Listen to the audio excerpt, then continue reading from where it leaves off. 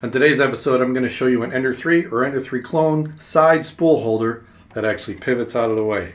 And you can 3D print most of the parts right here on Filament Friday. Filament Friday is brought to you every week by the generous donations of these Patreon supporters. On a stock Ender 3, Ender 3v2, or any clone, typically the spool holder is on top, the filament loops down into the extruder, and even with a metal insert, you're going to see wear over time. Some people put a guide on it. I preferred a side spool mount. In previous videos, I've showed a rear spool mount and also a side spool mount using the existing bracket. But when the CR6 came out that I did a review of a beta unit, it came with this pivoting side spool mount. And frankly, I love it. The Ender 3 Max has the same side spool holder. Now you can buy this thing but it's really hard to find. I did find it at Banggood. You can get it right now for about $10. I'll put a link to that in the description below. But why not just print your own? Like this. I found this version on Thingiverse from user Zachary101078.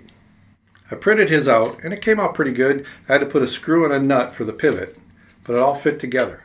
For the screw I used an M3 screw, 40 millimeters long, and an M3 nut. And it goes right on the rail just like this. But there's a few things I wanted to improve on it because it's not as good as this one. This is actually the one from Banggood. I broke the one on my CR6 and I bought a replacement. This one has a screw and the nut is embedded in the bracket itself, but it's also got a little lip here. So when you try to put it on the rail, to get it right, it wants to, is resistance. It wants to snap in place. And I'm not going to snap it because that's how I broke the last one. I tried to pop it off. So I, I just slide it in from the back from the rail, but this one really pivots easy.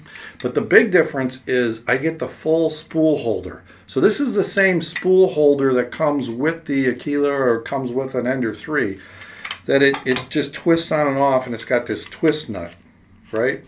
So this one from Banggood and the original one from Creality has these little nubs in here so you can put the spool holder and twist it right into place. His, he's just got an open hole. So you got to shove this in and it has to fit, it's really hard, fit inside here, which I can't even get it all the way on. And then you put the nut on it. And the problem I have with that is you're basically losing 20 millimeters of this. So it goes in 20 millimeters. So it's you got less space to hold a spool. So if you get a wide spool, it's not going to work. So what I did is I took his design and I added the nubs like what's on this one. Now I can take the spool holder, push it in there, and twist it and lock it in place. So that works really well. Another thing that I changed is he made the bottom a little bit shorter, which is similar to this guy, but they have a spot for like a little rubber pad. So you can put a different size pad depending on how far your printer is off because it's got rubber pads. So I noticed that his leaves a gap here because the pads on the Voxelab on the Ender 3 Pro are both taller. The Ender 3 is about this would fit perfectly Ender 3, but the other ones are taller. So what I did is I just molded that into the base of mine. Now it fits a lot better. If I take the spool off, you can see it's resting on the bench. So it's much more solid, and I didn't have to put a rubber foot on it. You can take his and put a rubber foot on it. That'll work but I molded it in because this matches most of the printers that I have. Another small change I made, his bracket doesn't have a lip like the original one which snaps in place. So when you put this on, it's fine, but his is designed to use T-nuts to hold it in place so it doesn't flop like this. So I wanted a lip on mine, so I took his design and just added a lip along the bottom. So now I have to actually slide this on, but then it stays in place. It's not going anywhere. So it's a little more solid. You can still use T-nuts, but it's not going anywhere the way it is. This is an older Ender 3 in my shop.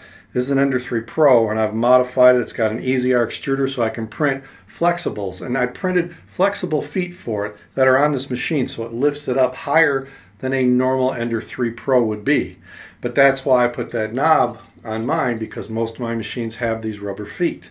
So now I can just slide this on here, and then I can just take the existing spool holder, untwist it. I don't need that nut anymore. And I should be able to just slide this in, twist it, lock it in place, and I have a side spool holder for an Ender 3 Pro. I did all my modifications to his design in Tinkercad, so I'll share those. I'll put a link in the description below so you can modify it however you want. I'll also put these files up on Chep Club for Patreon members, and also I'll link to them in Thingiverse as a remix of his. So that way you guys can just use it as is or modify it. So I don't know, what do you guys think of this? I really like side spool holders, but I know some people don't, but at least now you can pivot it to where you want. Let me know what your thoughts are in the comments below. If you like what I'm doing here, maybe check out some of the other videos popping up. And if nothing else, click on that CHEP logo and subscribe. I'll see you next time right here at Filament Friday.